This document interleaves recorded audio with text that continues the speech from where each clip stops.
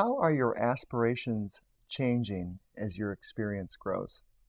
I read this great quote by Lao Tzu just in the last week or so, and to paraphrase it, basically says that in order to add knowledge, collect experiences, seek out stuff. In order to add wisdom, subtract things. And so for me, I've been very much focused on the subtraction of things, right? Putting things in their proper place. There's another uh, aphorism that says the most important thing in life is deciding what's most important. And and I think it's a challenge because when you're young and you're trying to learn something, uh, a new subject, or you're trying to explore the world and figure out what matters to you, the best thing to do is to drink from the fire hose. Is just to soak it all in.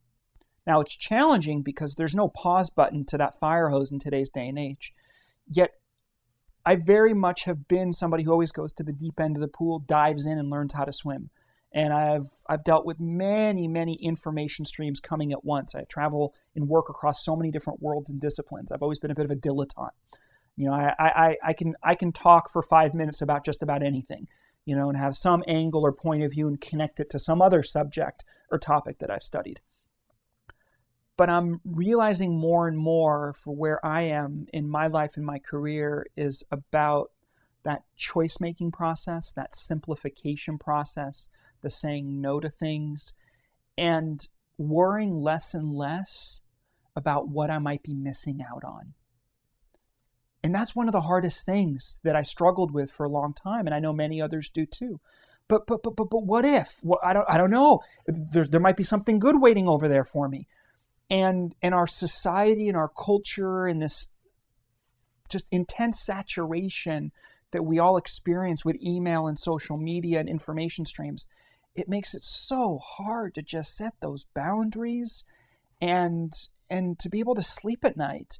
Uh, you know, another dimension of this that I've been thinking a lot about, Eric, is so this new age of interconnectedness that we are all experiencing.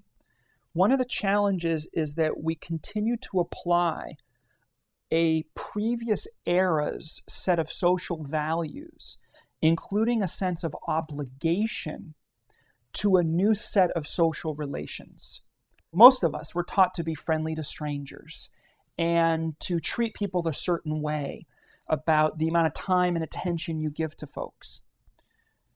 Well, that starts to break down as a value system, at least or at least certain routines or practices really start to get stretched and crack when you are managing incoming streams of hundreds of emails and inputs and requests for your time and attention and sorting through that and being able to say no without guilt without a sense of obligation you know it comes down to really getting clear on knowing again what truly matters to you.